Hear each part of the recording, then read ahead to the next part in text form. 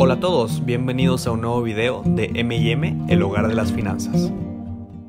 En los últimos días hemos sido bombardeados por noticias acerca del conflicto armado que está sucediendo en Nagorno-Karabaj, una región disputada por dos antiguas exrepúblicas soviéticas, Azerbaiyán y Armenia.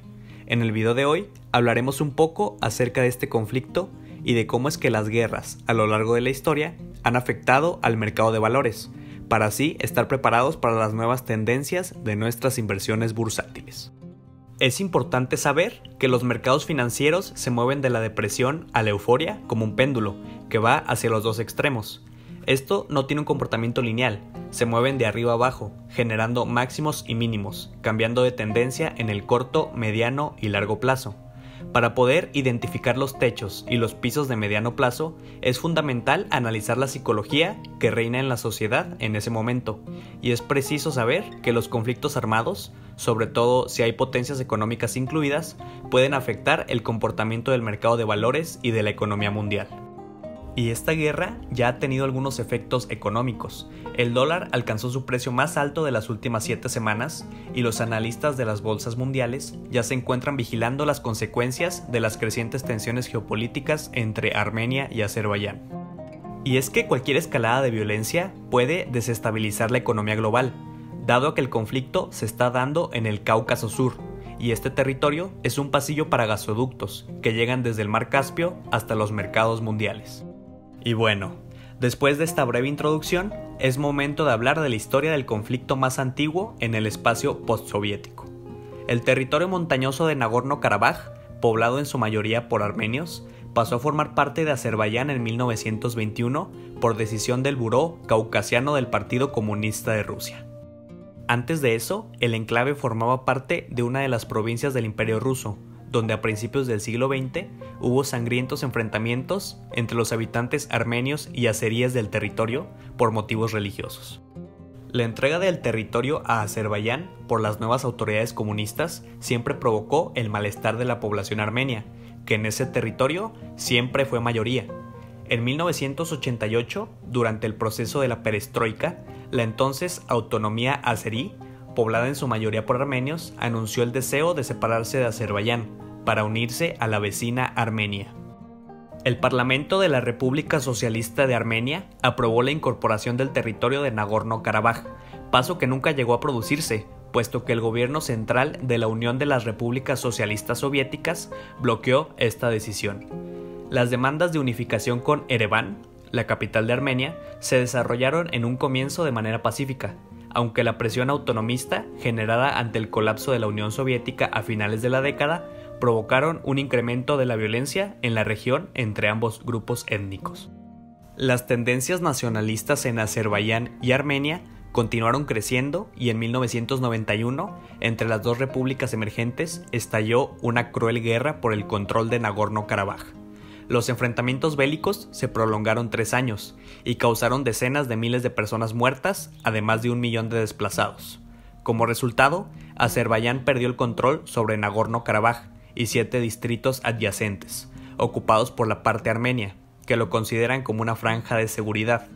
Durante la guerra, en diciembre de 1991, en Karabaj se celebró un referéndum, durante el cual casi la totalidad de la población se pronunció a favor de la proclamación del territorio separatista como una república independiente.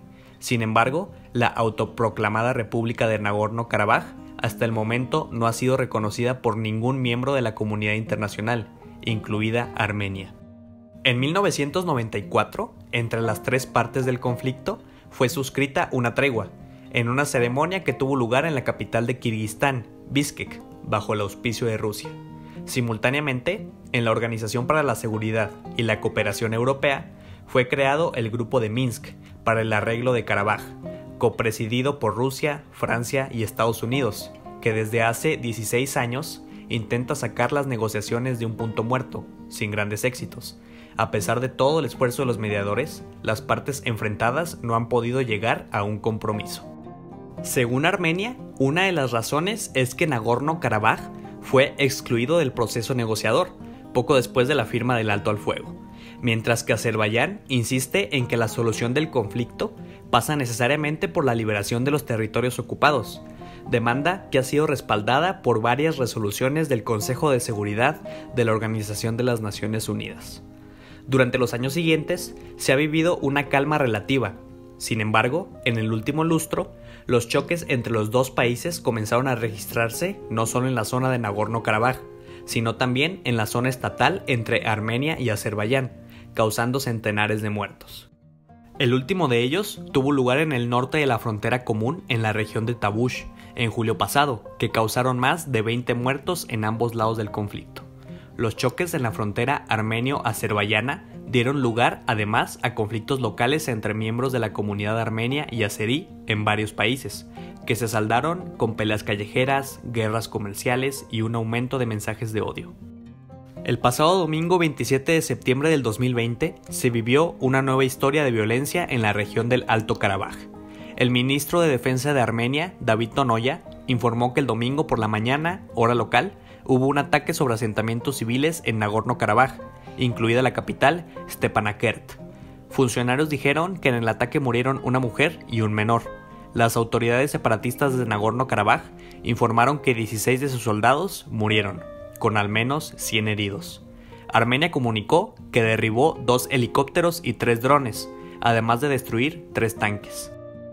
El gobierno armenio declaró la ley marcial, que es una medida de emergencia que consiste en que el ejército asume la autoridad y las funciones del gobierno civil, además de una movilización militar total, poco después de un anuncio similar de las autoridades del enclave separatista. Siempre en este tipo de conflictos existen dos caras de la moneda, así que el gobierno de Azerbaiyán tiene otra versión de los hechos.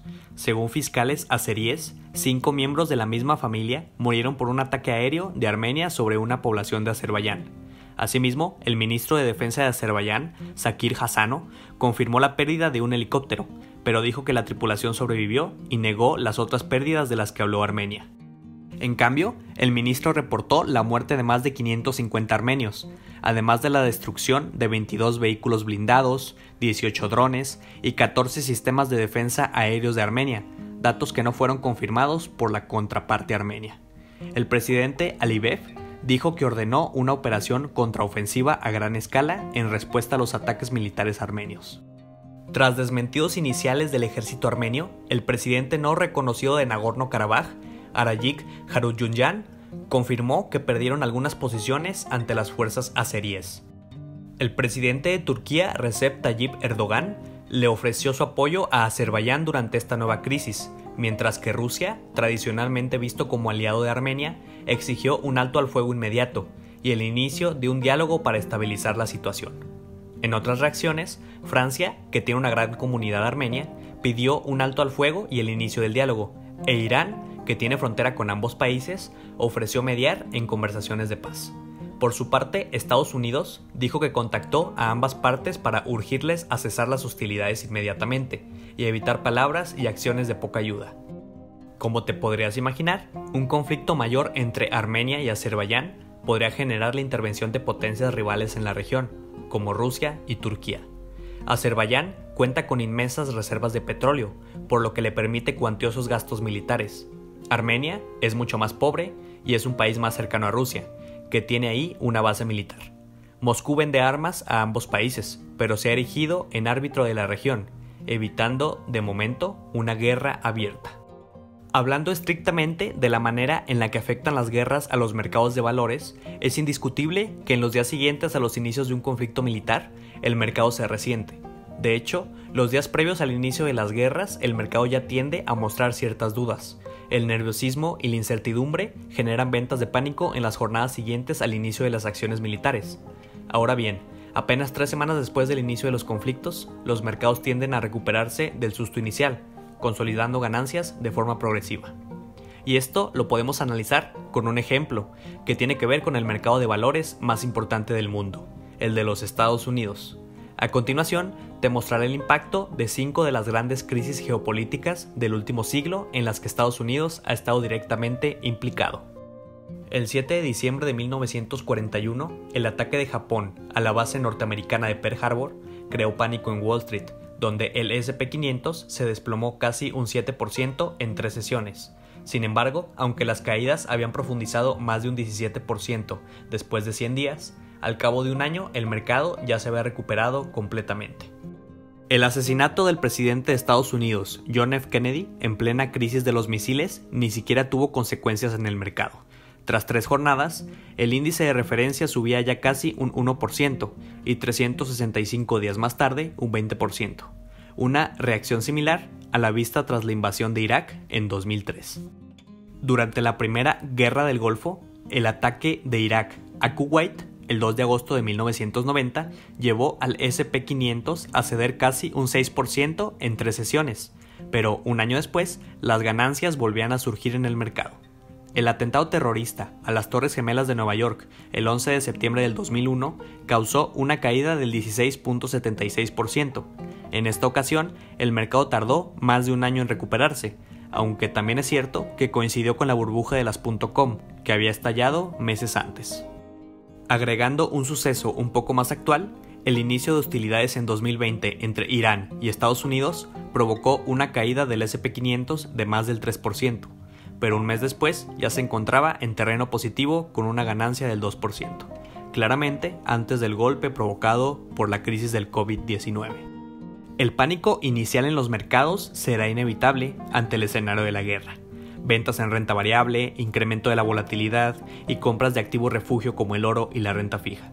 Según la estadística, ante esta situación, no hacer nada es casi siempre la mejor estrategia de inversión. Vender en bolsa en un contexto de pánico es una muy mala idea, ya que pasado el tiempo, las ganancias se volverán a imponer en las bolsas. Cada evento ciertamente es diferente, y nadie sabe con certeza las consecuencias de una guerra o de una crisis. Sin embargo, al mirar hacia atrás, y al analizar los conflictos militares de las últimas décadas, podemos ver que el mercado en general se ha encogido de hombros y recuperado con el pasar del tiempo.